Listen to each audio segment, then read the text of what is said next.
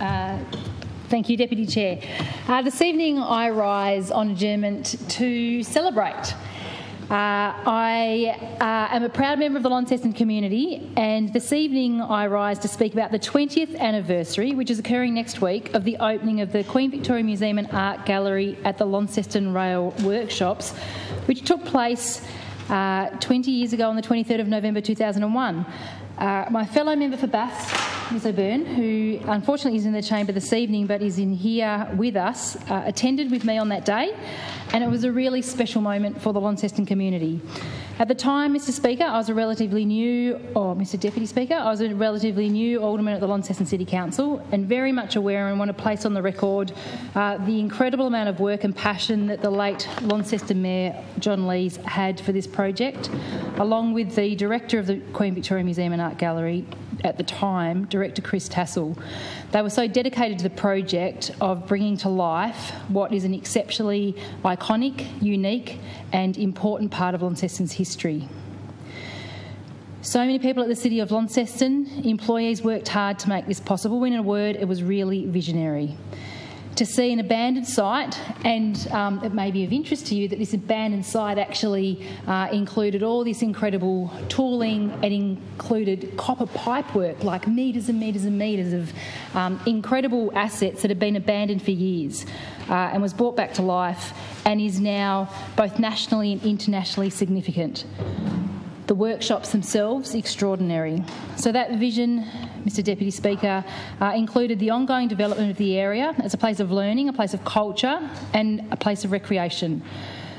Thousands of apprentices were taught there a trade in the workshops and that's now grown to also include TAFE, University of Tasmania, and most recently uh, the fabulous Big Picture School.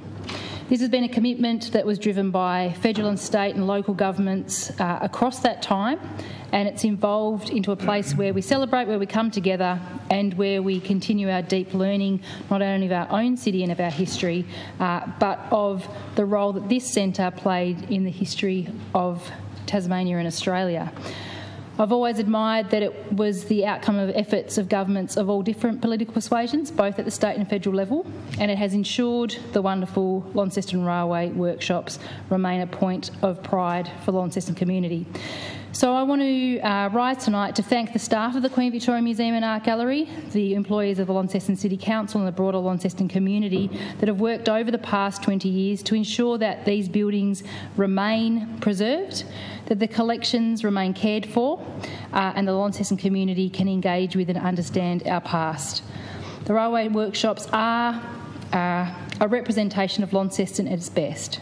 It represents innovation, creativity, and resilience. Mr Deputy Speaker, I also rise this evening talking about Launceston uh, and its creativity, its innovation uh, and its persistence.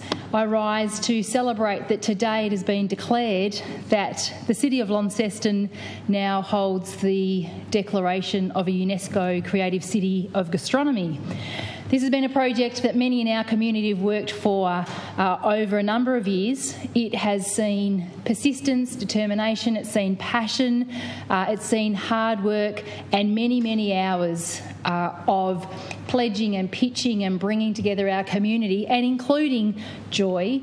Uh, joy that will be celebrated tomorrow night by many of the participants that have come together to secure this designation. Uh, there are a few cities around the world that enjoy UNESCO designations, and I understand now this will be the third in Tasmania, and it's, it's rare for a state of our size with our population to have such significant designations. Often the word gastronomy uh, brings to mind ideas of excellence or eliteness or top class restaurants, Michelin star restaurants. But for the City of Launceston, for our community, the work that we've done to underpin and bring about this designation is about food security, it's about food access, it's about ensuring that young people and families in our community understand what it can take to. Uh, come together and connect around food, to develop and grow around food, to participate in the process of planting and harvesting and cooking food. And then it also uh, celebrates and seeks to raise an understanding and education in what can be then done if you want to have a career in food, whether that be a career in hospitality and service, whether it be a career in tourism, whether it be a career as a chef. Uh, it underpins and supports the great work of Ferment Tasmania and what they are going to do, which, along with this designation, will be game changing for not only Launceston and the Tamar Valley, but for the entire northern region and, in fact, across the state. We will connect with other cities across the world that also have this designation. It will bring people's focus from across the world to what we do that's really special in Launceston and Tasmania, but equally, it will share across the world some of the things that we do that are unique about value adding to our produce um, supporting and understanding the great producers and farmers and people that we have that grow and provide uh, our great natural assets that we can celebrate and put on a plate and share and inspire people not only locally but across the world. So today is a great day of celebration.